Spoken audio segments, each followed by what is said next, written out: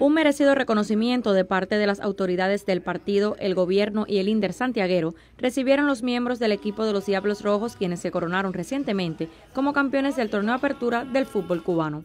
¿Cómo ustedes entregan ahí el corazón en el terreno? ¿Cómo lo disfrutan? Y también, por supuesto, hacen de que todo el pueblo disfrute junto con ustedes.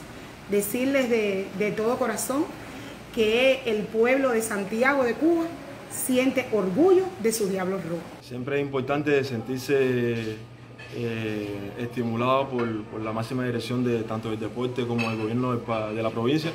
Eso es un plus, ¿no? Eh, nos inspira a seguir trabajando más, esforzarnos más eh, y seguir dando los resultados que la, que la provincia y la afición específicamente de fútbol se merece. Un conjunto que aspira a resultados superiores y ya tiene la mirada puesta en el torneo clausura, previsto a desarrollarse en el venidero mes de septiembre. Rosa María Panadero Vega, Sistema Informativo de la Televisión Cubana.